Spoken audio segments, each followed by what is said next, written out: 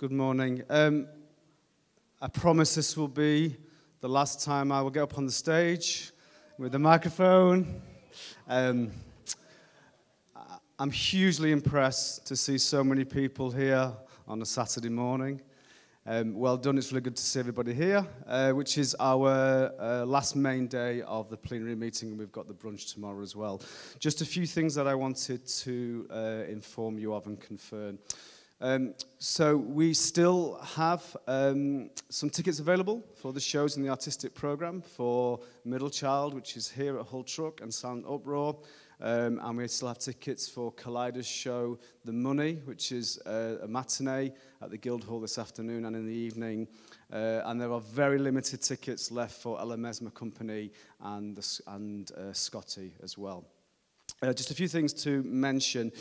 Um, just to remind you that um, at one o'clock on Sunday morning, the clocks go forward in the UK. Just to remember in terms, so that impacts on a couple of things your travel on Sunday, and also um, when we're in the late night meeting point having our party, when it's one o'clock, it's actually two o'clock. Okay? Um, and because of licensing laws, we cannot extend. Um, so just, just to make sure on your, your phones should, should uh, change automatically. Um, secondly, um, I have been informed that there will be some um, uh, train strikes tomorrow. P- please do not shoot the messenger. Um, the best thing I can recommend is that you check at the Paragon interchange with the, with the uh, rail authorities there. There will be bus replacement services, but just please anticipate and take that into account. Um, the uh, other thing as well is um, Marco is our opening keynote um, speaker this morning. Marco informed us at the beginning of the week that he had um, some pro- family problems in terms of his, his mother was unwell. Unfortunately, Marco has not been able to attend. However, with the miracle of technology, we're going to stream Marco in from Belgium. So we will have Marco on his presentation um, on, the screen, which I'm sure that it, it, it won't impact too much. So just before I hand over to Mark Babbage, who is the artistic director of Hull Truck in this venue, which has very kindly hosted us, please do enjoy the, the day. You've brought the sunshine with you for the whole weekend, and it's going to stay with us for the whole time. I do hope to see the rest, of, uh, many of you through the day, and also if you can and you have the energy, please let's all get together at the closing party at the Humber Street Late Night Meeting Point. If you haven't been there, please do come and join us this evening. So, if I can introduce you to the artist director of this wonderful Hull Truck Theatre, Mark Babbage.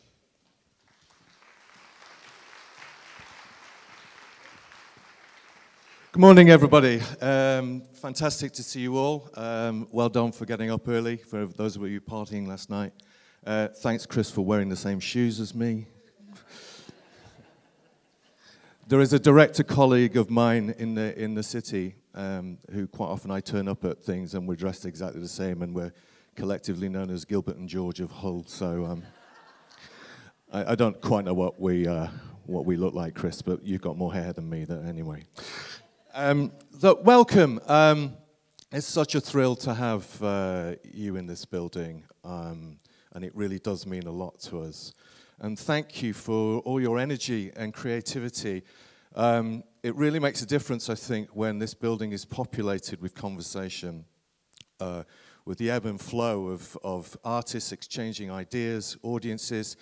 That mix of that energy really helps to make me feel that actually uh, a theatre is doing its job when it invites in multiple conversations.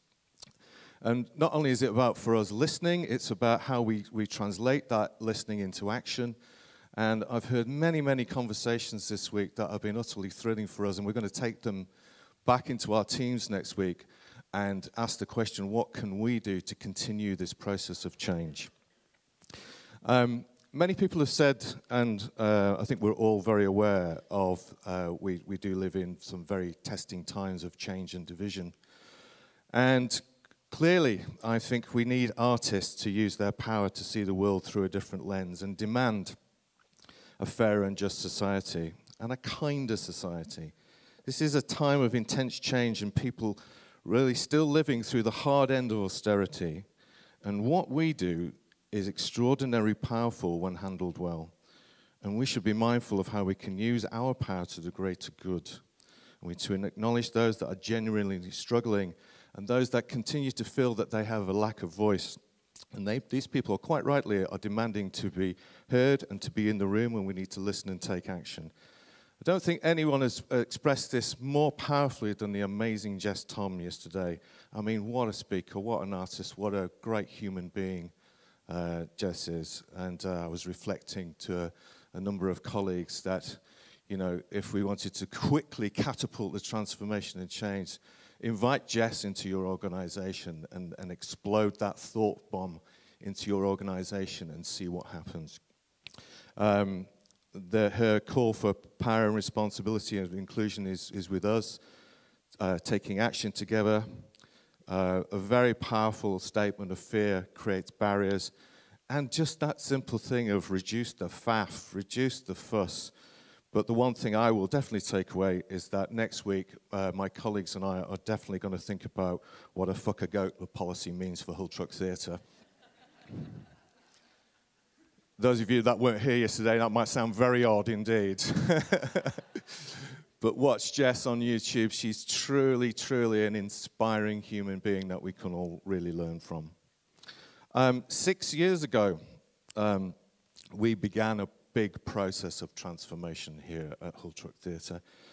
And our aim was to create an organization that welcomes multiple voices and see this as a creative muscle to be flexed and to be celebrated.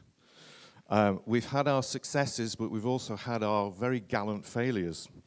Uh, I just want to tell you a few of those successes. Um, our Community Dialogues program is an action research program uh, which we started because simply we didn't know enough about the barriers that existed. We made too many assumptions.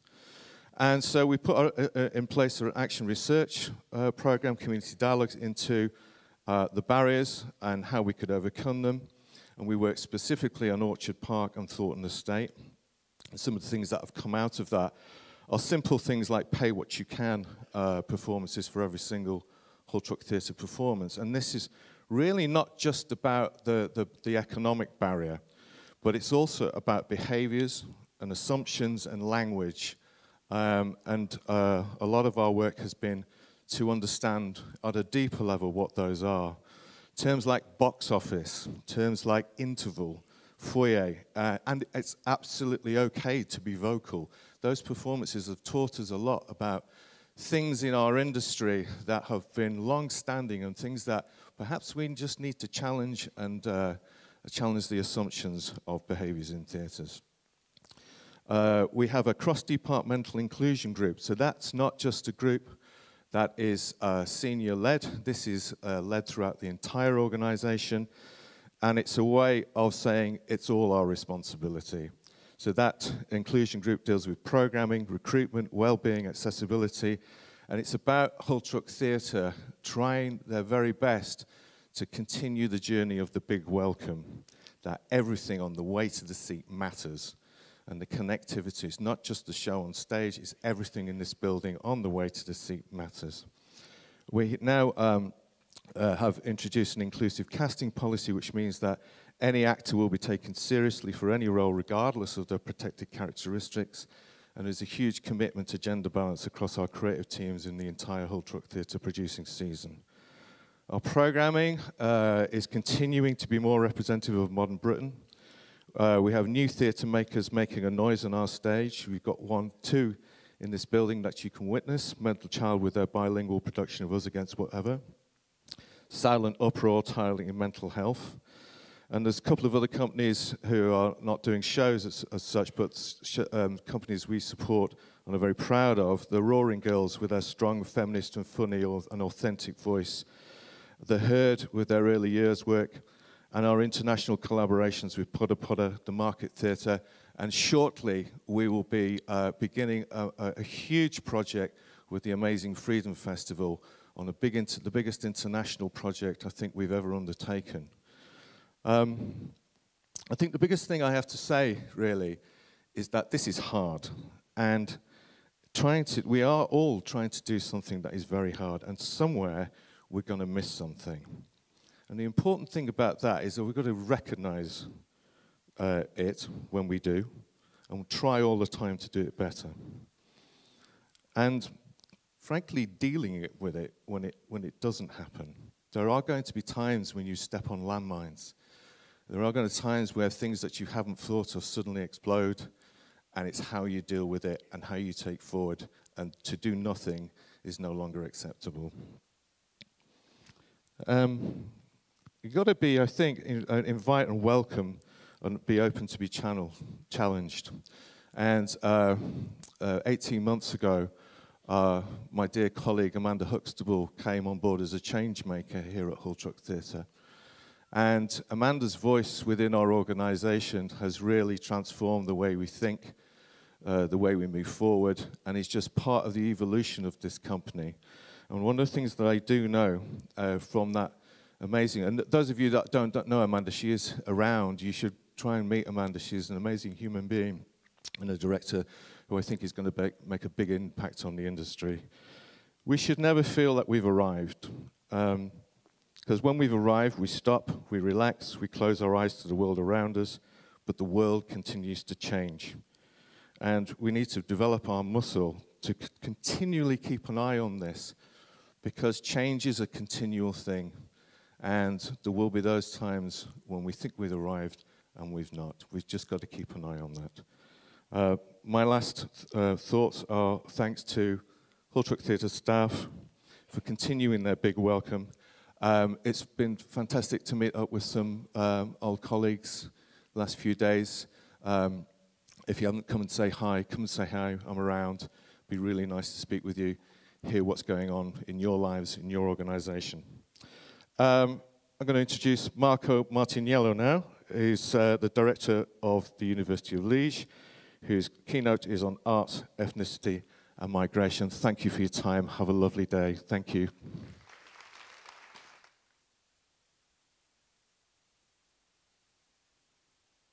Okay. Can I go? Yeah? Okay, good morning, everybody. I'm very sorry not to be able to be with you this morning, physically, I mean. I can assure you it's not the fear of Brexit that prevented me to travel but uh, severe problems in my family. Um, I would like today to, to share a few thoughts with you about the complex relationships between arts, ethnicity, and migration. And I will not go into the definitions. I mean, we could probably spend more than uh, the allocated time uh, to discuss about the def definition of arts, ethnicity, and migration. And uh, I will not go in, into that this morning. I will just start by saying, from my point of view, I am not an artist, unfortunately. I'm a sociologist specialized in migration and ethnic relations.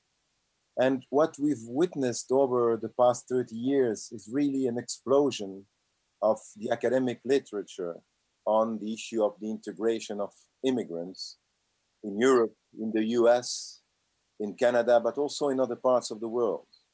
There are all sorts of research available about integration into the labor market, about housing, about uh, uh, discrimination, racism, and I will come back to that point later. But at least in social sciences, uh, one issue was really has really been sort of neglected, uh, and it is precisely the relationship between arts and the incorporation of migrants, but also the descendants of migrants. And more broadly, I would say the relationship between arts and migration. I mean, in the social science field, of course. Uh, in the US, one of the first books uh, discussing thoroughly the importance of arts in the life of immigrants was only published in 2010 by uh, DiMaggio and Fernandez. Uh, the first one, Paul DiMaggio, being a sociologist of, of culture. And, you know, for a country that praises itself of being a nation of immigrants, it is quite uh, bizarre that the social sciences and especially sociology of migration, has neglected the issue of the connection between arts and migration. In the European Union, uh, the issue is even, I would say, uh, more difficult because actually uh, we started with colleagues from different European countries, uh, uh, a standing committee in a network called IMISCOE. For those who don't know, IMISCOE stands for International Migration and Social Cohesion in Europe. It is a network of research institutes specialized in migration issues, funded about uh, founded about 15 years ago. And within that, you know, broad network, we actually are, have now about 47 research institutes and more than 500, 600 researchers dealing with migration in Europe, but also outside of Europe. Uh, in that network, actually, there was very little on the issue of arts and culture. And with my colleagues from uh, Vienna and uh, Barcelona, Wiebke Sievers, who is a, a, specialist on literature, and um, my colleague Ricard Zapata from Pompeu Fabra University of uh, uh, Barcelona, we decided to create a standing group on arts and migration. And actually, initially, our colleagues were not very enthusiastic about the idea you know, people think that when you talk about migration, you have to think about hard stuff, you know, the labor market and uh, uh, housing, health, and so on, which of course is very important and crucial. But we tried to convince our colleagues that it was very important to to uh, examine and pay attention to the symbolic dimensions of the debate surrounding migrant migration and ethnicity and also to dedicate some time trying to develop a research agenda on these relationships between arts, ethnicity, and uh, migration. And that's what we've been doing, I would say, quite successfully uh, over, over the years. Uh, and the first thing we try to, to analyze is basically why this neglect historically on the connection between arts and migration. And I see basically two major reasons that are related to the history of migration and that are related also to the history of colonialism and to the history of the imperialist Eurocentric view of the world that developed on this part of the world. If we take into account uh, the way migration was constructed, actually for decades, the image was that migrants were just workers. They were factors of production. So actually, they had no culture. They had no aspiration to become citizens. And they were supposed not to be interested in arts, either as producers or as consumers you know, you can read, if you read the literature about migration, uh, starting from the, the end of the 40s onwards, you really have that idea very much that migrants actually are dehumanized. They are just considered as a simple factor of production. And I remember uh, this uh, passage, I can't remember the name of the author uh, now, but he was saying, talking about migration, we uh, have imported arms and you know we realized actually that there are also human beings wearing those arms you know?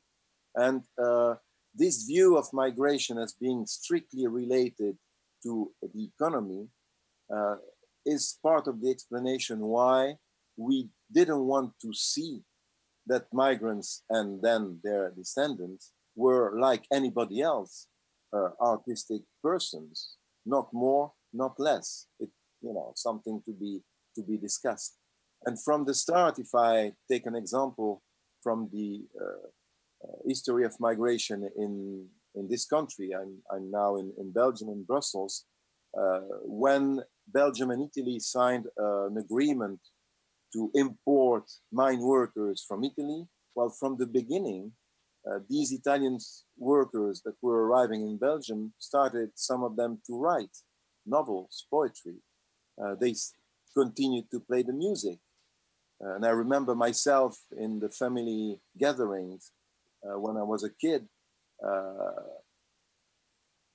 always at each meeting, somebody would take up an accordion or a guitar, and people were starting to sing, to share songs from the, the country of origin, to dance.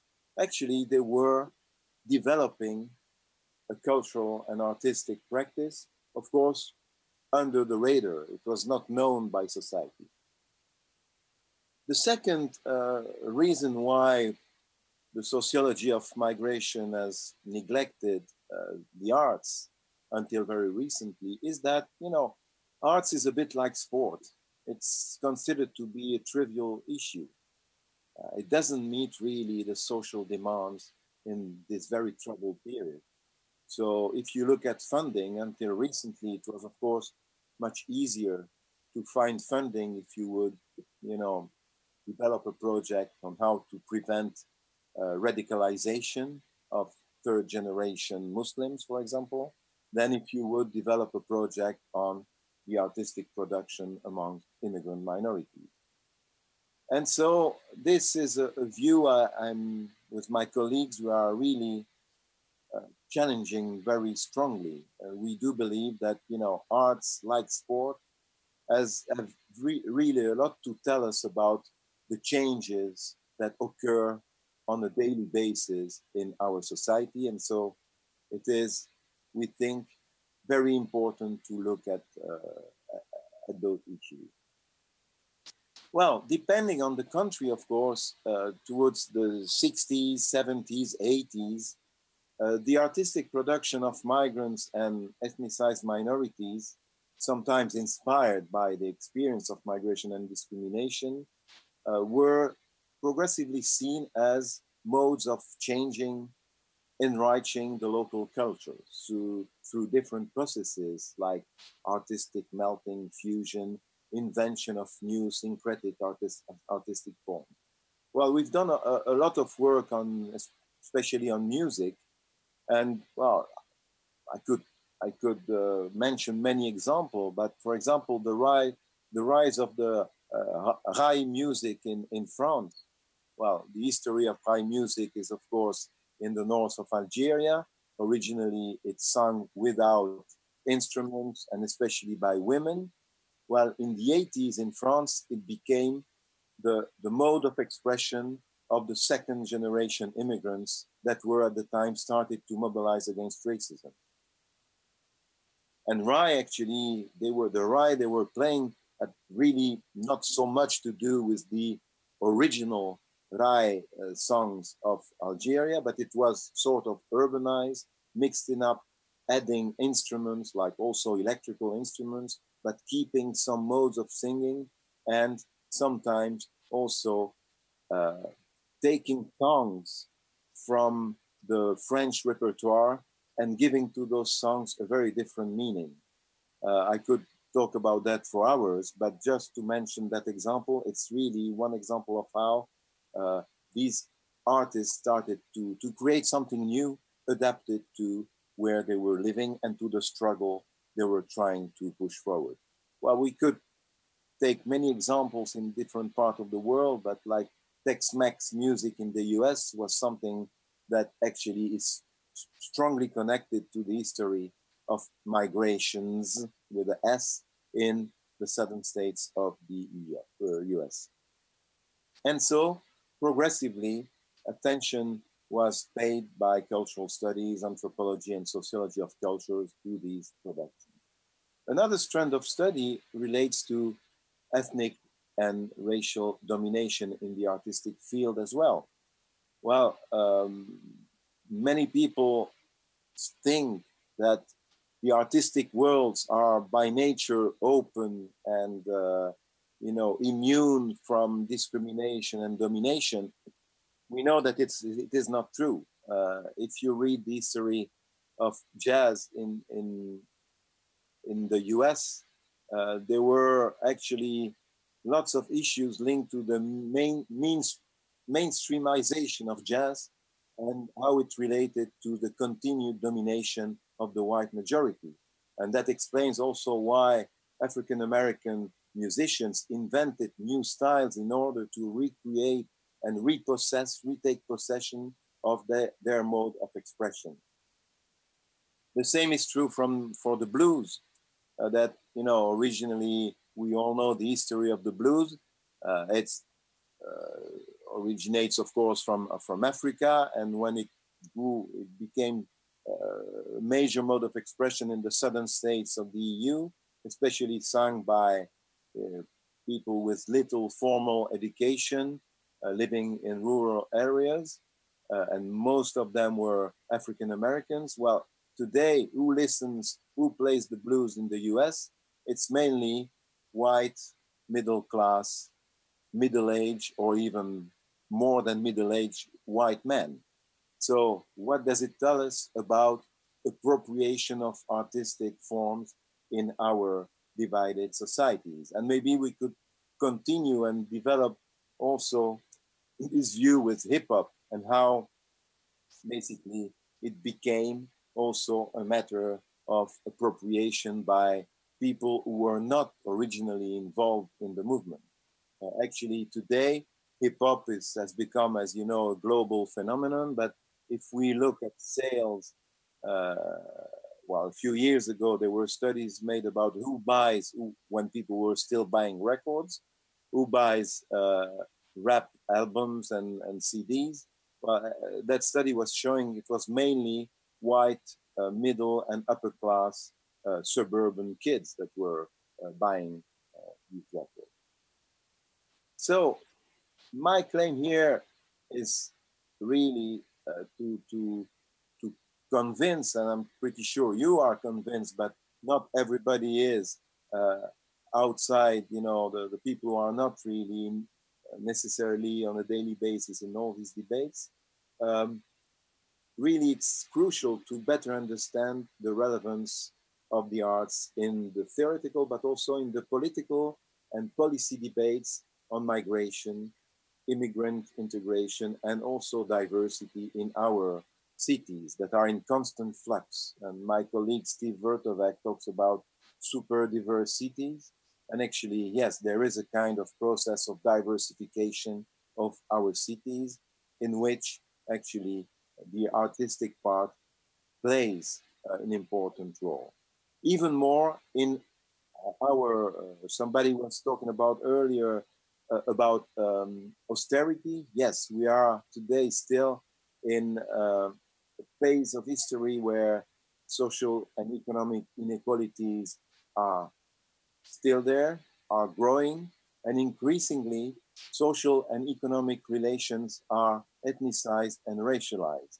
And in my view, it is in this very specific and difficult context, it is really important to look at what art, what the arts can play, what the arts play as a role in uh, these uh, societies.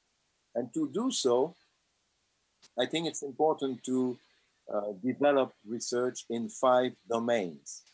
Uh, local cultures and artistic expression, social relations and interactions, of course, the dimension of cultural policies and local integration policies, four, uh, political mobilization and participation, and five, the economic life. And I will just uh, say, tell you a few elements about these five dimensions before opening up for discussion. So, as I already uh, mentioned, um, the, when people meet in our uh, societies of, uh, of immigration, and by the way, I take uh, uh, here the opportunity to, to claim for a broader, broader change of paradigm that we should really make in, in Europe. And when I say Europe, I include, I still include the UK in Europe, uh, is that you know, we should stop seeing mig- migration as something that is problematic, as something that does not belong to our history. But migration is something that construct and reconstruct societies. Migration is a structural phenomenon. So, uh, and it will continue to be, uh, whatever the exit will be in the Brexit debates. For the UK, and it will be for Europe, it will be for the world. And I think we should include more migration as a, you know, as a structural mode of reconstruction of any all human society. If we do that paradigm, maybe we will see things with different eyes and try to find more uh, uh, ways of you know constructing these uh, projects that we hardly need for the, the future the future of, of mankind. So if we go back to more practical and even local things, I insist on the local because many things now happen also at the local level with uh, an interaction with the global level. Well, I'm with you today. 10 years ago, probably this would not have been possible. So I'm here, but I'm with you at the same time. And it's the same, of course, for uh, many people in our societies. Going back to how migration changes local artistic culture, uh, I mentioned already a few elements of that, and we could actually take many examples. I hear, I hear mention again a couple of examples uh, on, um, on music, but we can also take the example of literature. You know, I, my generation was very, very struck by the uh, the writer Hanif Kureishi, who I think you know the, the, his book The Buddha of Suburbia was probably one of the best you know uh, attempt to really understand uh, the difficult the difficulties of uh, our diverse society, but it was, I think, in terms of writing, uh, something that has an extreme value, and it has become now part also not only of the world literature, but certainly also of British literature. In cinema, if we want to go to Germany, the work of Fatih Akin, for example, uh, who, who is not considered anymore as a migrant uh, filmmaker, but really uh, his contribution to uh, the German cinema is recognized by everybody. So these people all have a kind of personal history linked to migration. They are not necessarily themselves migrants, but they might be the children of people who actually moved to European countries. And so clearly, immigrants and their descendants, they contrary to what people still want, they do not merely assimilate to the local arts and culture. They transform the local artistic landscape and give birth to new artistic languages. Um, we have just published with my colleague from uh, CUNY, Phil Kasinitz, a special issue dedicated to music, immigration, and the city. And uh, Phil, in his contribution, shows how uh, Broadway actually would be unthinkable without migration. Broadway now is presented as uh, one of best one of the best illustrations of the, the American culture, one of the touristic attraction of New York, but Broadway without immigration probably would never existed. If we look at social relations and interactions, the question we are asking is are uh, artistic practices uh, resources to build bridges between people, to create a new lingua franca, to create new forms of solidarity in our divided and uh, racialized uh, and ethnicized societies. Uh, in other words, can people who, who have very severe difficulties in getting together uh, outside uh, in society, could they really use artistic practices in order to, to try to rebuild some bonds and to ba basically to, to recognize each other as equal members of uh, the same society. And I've been very much interested over the past uh, five, six years by all this research on everyday multiculturalism, uh, the work by, by Iris West Wessendorf, Paul Gilroy, etc. And I've tried to uh, to observe what is going on in Belgian cities, especially in Brussels and, and, and in Liège, my city, about this everyday multiculturalism. What does it mean in the artistic sphere? Is it really something we can observe, or is it simply wishful thinking, you know, things that we would like to see but do not exist anymore? And I think that really it exists. Uh, people uh, develop this, you know, experience of diversity. Uh, they, without of course theorizing about it. I'm not talking about uh, an urban generation that is inspired by thinkers like uh, Kymlicka or whatever. Uh, they don't care about theorizing, but they really experience uh, modes of living together that go beyond the traditional categories of division in society religious, gender, ethnicity, race, and social class. And they really develop uh, new ways of living together in the city. And that happens in mixed neighborhood that still exist, even though there is in many cities a process of fragmentation also of the urban space. Uh, but also um, what is important to notice is that for part of the young, diverse urban generation, the traditional forms of categorization lose salience in the modes people cooperate and live together in daily life. And this is, I would say, uh, very visible in artistic practices uh, associated sometimes to the expression we could also deconstruct of urban culture. And we could we could discuss at length to, to, to discuss what is actually uh, uh, urban culture. But still, these young people develop, uh, and I say young people because most of the time they do, they are young and uh, they develop what I call local communities of artistic practices. And I've observed, I'm still observing that in dance, in music, and theater. Actually, what matters in those communities, local communities of artistic practices, is the project.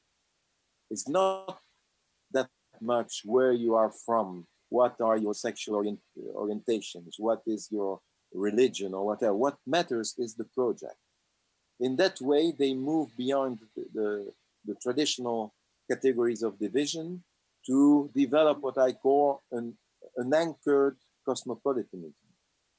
Why? Because they are at the same time uh, embedded in the local life with a very strong feel feeling of belonging to, to the city or the neighborhood, but at the same time, they identify with similar groups elsewhere in the world. Uh, there are all sorts of connection between, for example, um, the people of the, the poor suburbs of Naples in Italy and people in the favelas in, uh, in Rio uh, that are made possible by also new technologies. And therefore, the role of internet and the new technologies is very important to develop these transnational connection that allow the development of what I call this anchored cosmopolitanism. Of course, there are also patterns of physical mobility. Uh, if you take the example of dance, for example, well, there are all, all year round, and especially in summer, there are all sorts of camps and workshops and festivals of dance that, you know, allow people from the entire world, that urban generation from the world, to get together and to share things uh, around their same shared love for for for dance and uh, uh, and their similar approach to, to, to the, the place of the body in, in, in the world, so to say.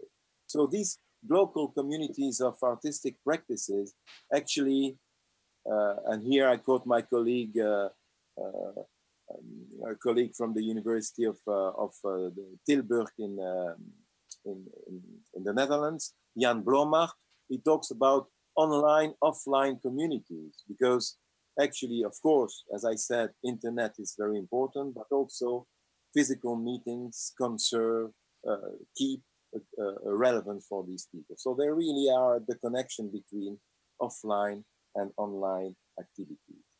And recently, there was an example in Belgium, and I'm not going to read this, uh, in order to show how you know artistic project, projects can really uh, help recreate uh, bonds in a, in our society. A very interesting project was developed in, in Belgium called Refugees for Refugees. Actually, the idea was to put together uh, refugee musicians in Belgium coming from different countries, from uh, Iraq, Afghanistan, Tibet, uh, whatever, uh, Syria, etc. And in order, in order to see what they could exchange. And you know that this idea that music is uh, universal doesn't mean that all the musicians understand each other very, very easily, of course. But this project uh, led to uh, a first CD that was unanimously acclaimed. Uh, they started to tour in Belgium and abroad with, with all the difficulties because some of the musicians didn't have uh, documents in order to travel. And recently they developed the second phase of the project, uh, publishing a second CD. And, uh, you know, when they launched the CD, the concert was in one of the major venues in, in Brussels called the Ancienne Belgique. It was sold out. And now this group, Refugee for Refugee, is going to play uh, in all the summer festivals uh, in the area. And it was quite interesting when you look at the public that go to that concert, because you could say, of course, it's only people who are already open and convinced that go to those concerts. Uh, but I could see people from many different origins, I could see people from different generations. Uh, so it was really a, a, mirror of the diversity of society. Probably they were all open uh, to, you know, this issue of uh, uh integration of refugees before going to the concert. But I mean, still, in the period we live, I think it's very important also to show that people do not agree with some of the politics that is offered to us be it in the UK, in Italy, in Belgium, in, uh, in Poland, in Hungary, or and you name it. There are so many countries where, you know, people need to stand up and resist. And I think that arts can give us, this is not a new idea, of course, but I think it's important to underline it, underline it. Uh, arts can give us the, the possibility to, to show, to people together can still try to resist. Now there is the third issue, the issue of cultural policies and local integration policies. The question here is that of the re representation of diversity in cultural policies. Do official culture, cultural institutions support, for example, immigrant and origin, uh, immigrant origin artists? Do local cultural policies become multicultural? Or do they still reproduce a nationalist view of culture? And how do immigrant and ethnicized minority artists mobilize to change cultural policy? And here we have done some studies in different countries, and there is a great variety of uh, things happening in different countries. And I think it's important to distinguish at least three levels of discussion. The the level of cultural policies in a strict sense, uh, the issue of integration policies, and I don't like the word integration, but I still use it in order to give an idea of what we are talking about. And recently, especially uh, since the uh, the terrorist attacks that uh, uh, that happened uh, throughout the world, and not only in in, in Western Europe, um, policies to prevent radicalization started to use also artistic tools. Um, in terms of, I will just say a few words about the first discussion, cultural policy. There seems to be a tension that uh, has not been solved between two approaches of cultural policies. The option we could label as cultural democracy opposed to the uh, option of democratization of culture.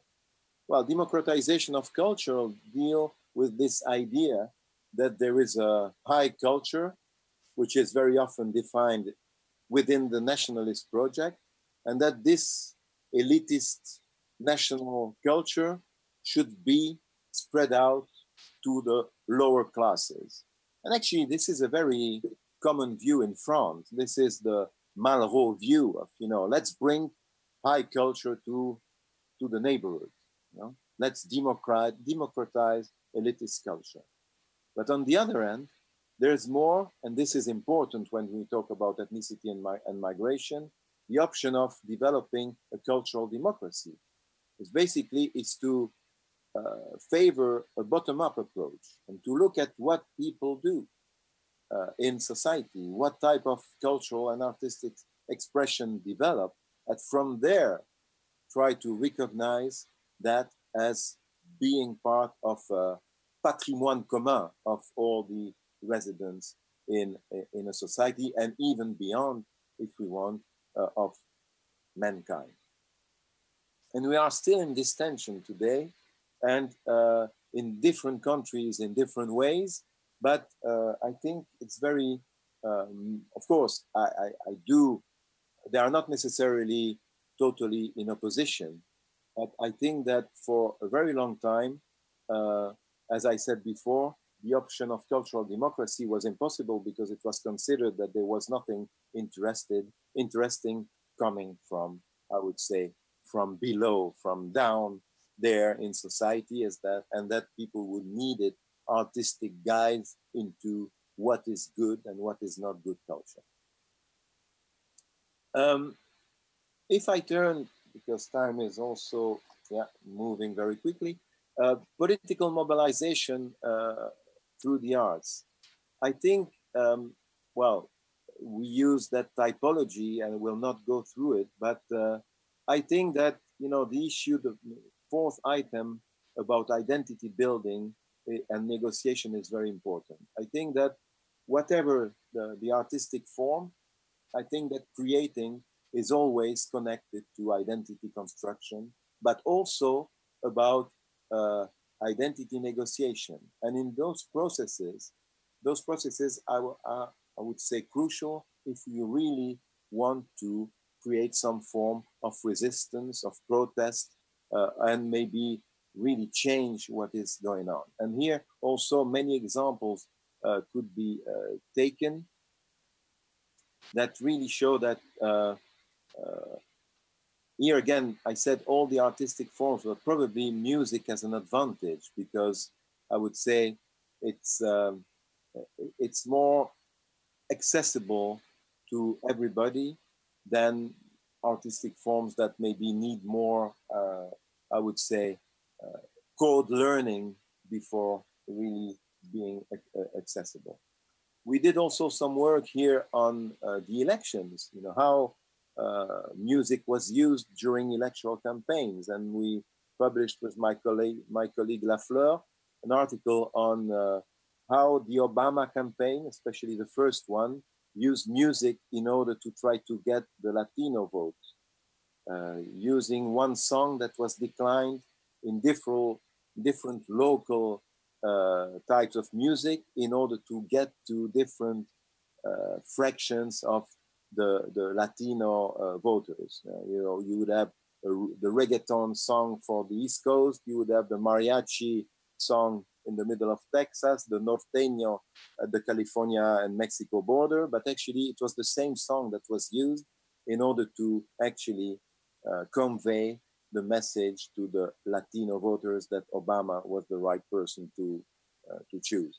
But we are not saying, we cannot say that it succeeded uh, because it's almost impos impossible to prove methodologically, but uh, we at least uh, illustrated why, how some uh, politicians understand that they can use some artistic forms to, to get to convey also their message, which raises the issue of instrumentalization, of course, of uh, art. And uh, finally, I will talk with this issue of uh, the economy. And uh, well, it relates to the marketing of diversity and also of city branding. Uh, I think that it has become a very important issues in, in, in, many cities, the way the diversity will be uh, marketed by using artistic productions uh, of, of a place. And uh, well, if I take um, an example, they, here again from Brussels, last summer there was a, a festival on hip hop, uh, which took place in Beaux-Arts, which is the major, one of the major cultural institution in Belgium. It's really the place, the monument of the high culture, opening up to hip hop in Belgium. What is very interesting is that uh, the, the origin of the project was not in the artistic world, it was the Department of Tourism of the city of Brussels. So it means that this diversity uh, is really transformed in order basically to pursue image and economic goals. The second point we see is that uh, there is a kind of artistic entrepreneurship that develops as a response to discrimination and non-recognition of, for example, ethnicized and racialized artists. So uh, what we see in many countries is that these artists don't even apply for funding anymore, uh, anticipating, you know, refusal or uh, difficulties in order to, to, I don't know, it is in all the countries, but here you have to fill in many forms, many uh, very complex forms and report all the time uh, for what you, you do. You know, in Belgium, there is a kind of status of artist, but in order to get it, you have to prove that you uh, you have performed something like uh, 200 uh, shows, for example, over a year. I mean, who can do that in a country like Belgium? It's almost impossible. So, in order to get around all that, people organize by themselves and develop their small artistic firm in order to continue their work. And so, in the end, this has a kind of positive impact on employment as well.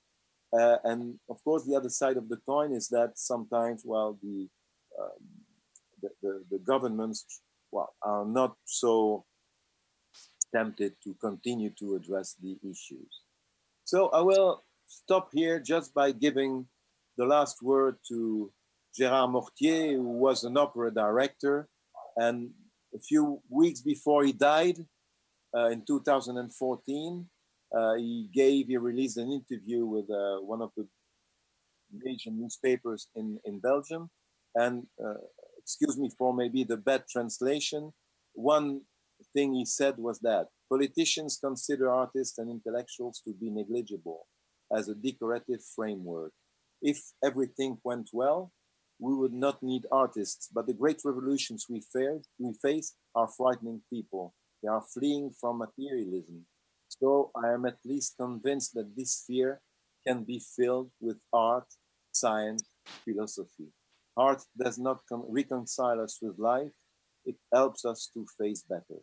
And I think this is really a crucial statement for the development of our multicultural and super diverse society. Thank you for your attention.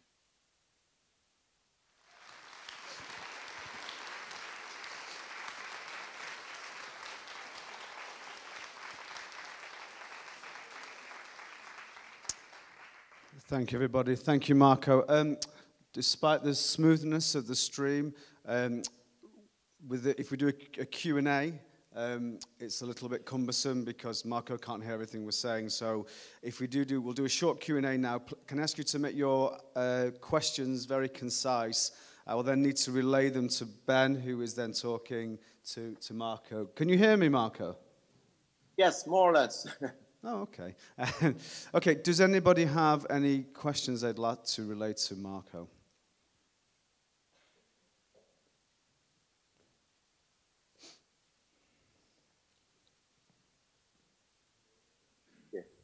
work. Yeah. Uh, Thierry Gourmelin from France. Um, I have a question about uh, the, your network of research. I would like to know if you are working with a philosopher or sociologist or, other thinker coming from Africa or other countries. So can I just confirm that you're asking Marco about um, his network of research? Yeah. Ben, can you pass it on, please?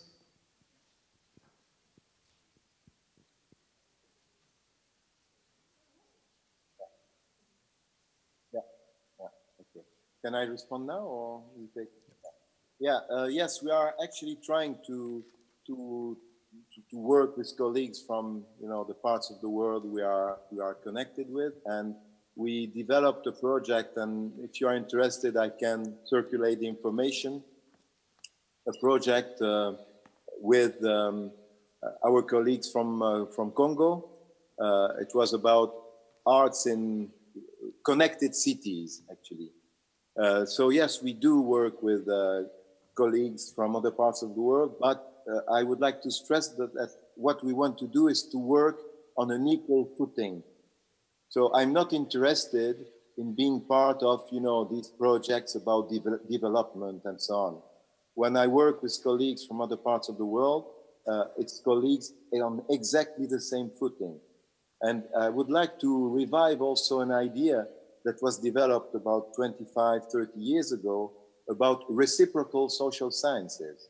So instead of, you know, continuing this idea that we Europeans have the right to study the South and to teach them how to do what they want, they need to do, I would like to have more, even more uh, scholars from uh, the various places in the South to come to Europe to teach us how to do things and to give us, you know, their analysis of our society. So I'm really in favor of developing these reciprocal uh, uh, approaches to the issues of diversity, migration, or whatever. And uh, of course, it's not that easy because we are still very often caught in this development uh, paradigm, which, in my view, is um, not necessarily the best to develop the type of reflections we are trying to, to develop. Okay, do we have any more questions? Okay, um, thank you. I'm, I'm being, so, okay. Please wait for the microphone.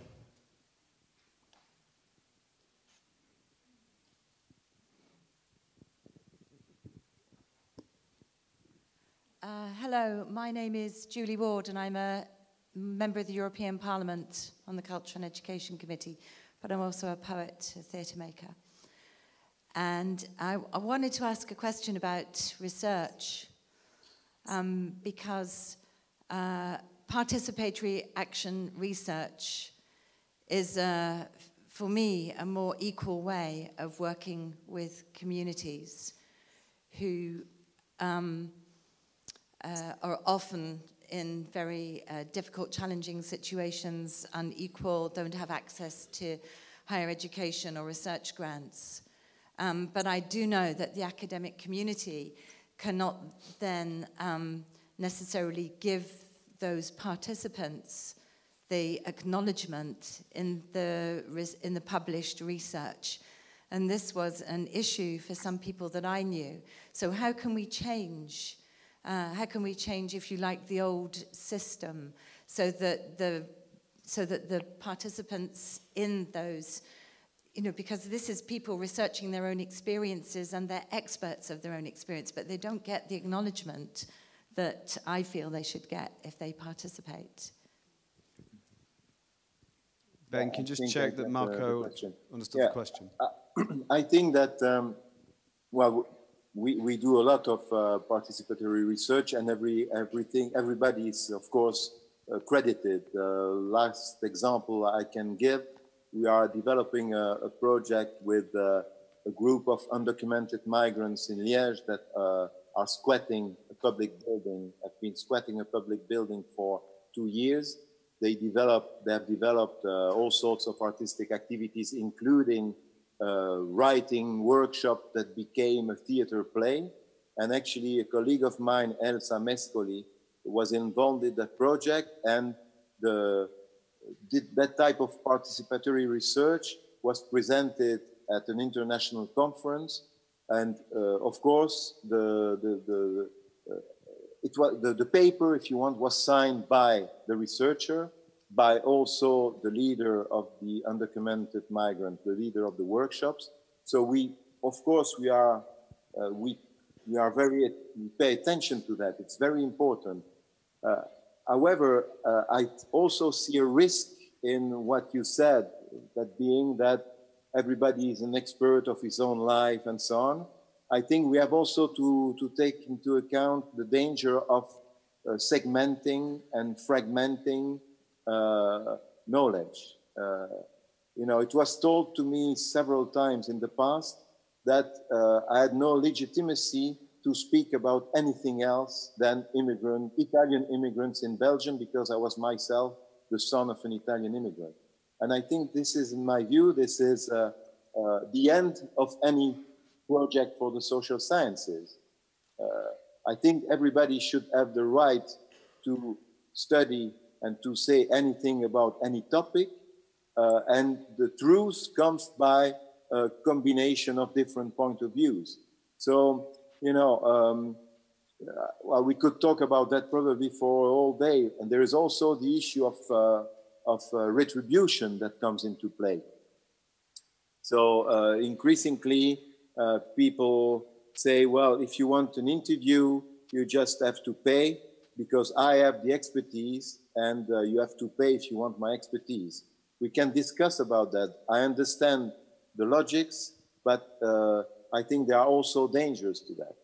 Uh, because then, well, uh, we can say that sometimes there are just, uh, you know, a, a pre-formatted discourse that it just served against retribution to journalists, to politicians, to administrators, and so on, uh, just because that's, you know, people respond to what they think is expected from them.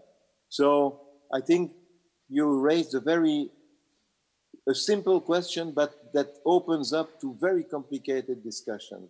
But the point of departure is that, uh, at least for academics like myself, uh, the idea of the ivory tower and of people who are not connected, who are not crediting the people they work with, it's something that is really strange to me. In all we do, uh, we not only we, we we ask, we enlarge the participation, but we credit, of course, all the people who participate in what we construct together. Okay, thank you, Marco. Um, I'm going to, I apologize, I'm going to close the Q&A there. Um, if you want to uh, contact Marco, you can obviously contact him through his profile on the IETM website. Um, so um, just to say that uh, if I could request that now this is finished, that we, um, uh, we clear the auditorium quite quickly for two reasons. One, we have a matinee here at 1 p.m. and also sessions are starting in the building and across the city at half 11. So but before we do, can we just express our thanks to Marco. Thank you, Marco.